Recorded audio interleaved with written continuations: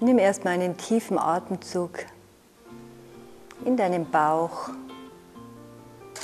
und spür hinein, wie sich die Bauchdecke beim Einatmen hebt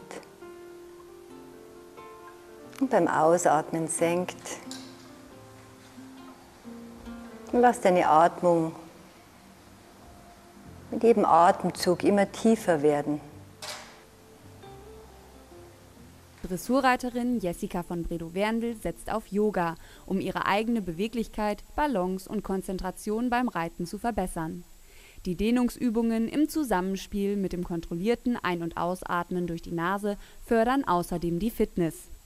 Also vor ein paar Jahren bin ich mal auf einem Pferd gesessen, das hatte einen unheimlich großen Trab und ich dachte mir da oben, also entweder muss ich jetzt ein bisschen langsamer reiten oder weniger schwungvoll, weil ich, ich kann es nicht wirklich sitzen. Ich das Pferd. Und dann habe ich mir gedacht, ich kann jetzt nicht von meinem Pferd verlangen, sich wie ein Tänzer zu bewegen, wenn ich nicht mitschwingen kann in der Bewegung und nicht der richtige Tanzpartner dafür bin.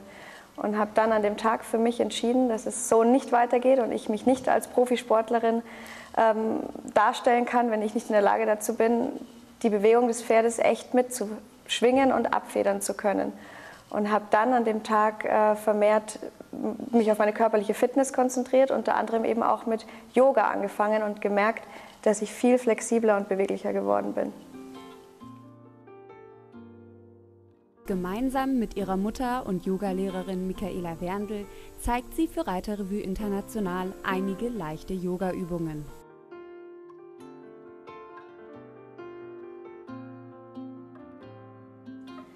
Also komm aus dem Vierfüßlerstand, jetzt stütze dich auf deinen Zehen ab und komm in den abschauenden Hund. Das heißt, die gesamte Körperrückseite wird dabei gedehnt. Was fürs Reiten natürlich enorm wichtig ist, die Beinrückseite und die gesamte Wirbelsäule. Dabei entspannt sich der Nacken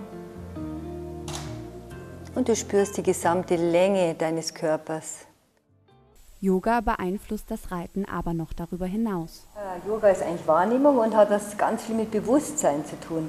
Also erstmal werde ich mir meines eigenen Körpers bewusst und somit kann ich natürlich viel mehr, äh, viel bewusster auf das Pferd einwirken und viel feiner. Die Hilfen werden viel feiner.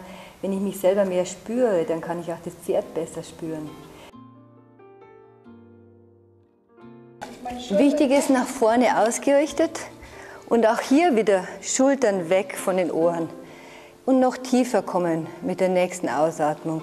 Und noch mehr öffnen mit der Einatmung. Und jetzt mal den Blick zum Himmel richten.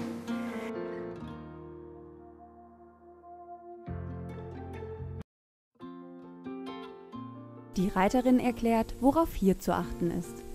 Dass die Schultern weg von den Ohren sind, dass die Hände gestreckt sind bis zu den Fingerspitzen und der Blick geht über die Hand nach vorne.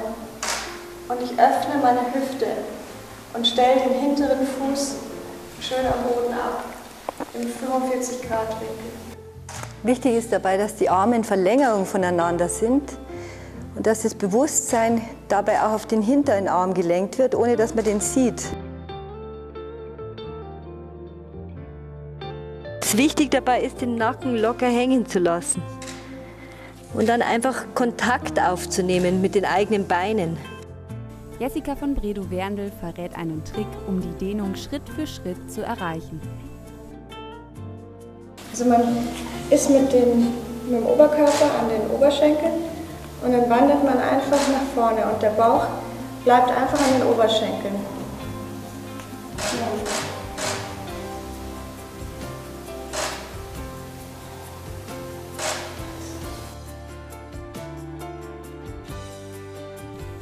In dieser Übung steht die Drehung der Wirbelsäule im Vordergrund. Einatmen nach oben, ausatmen drehen. Diese Übungen helfen auch zu entgiften. Alles, was die Wirbelsäule flexibel macht. Schenk dir selbst ein Lächeln.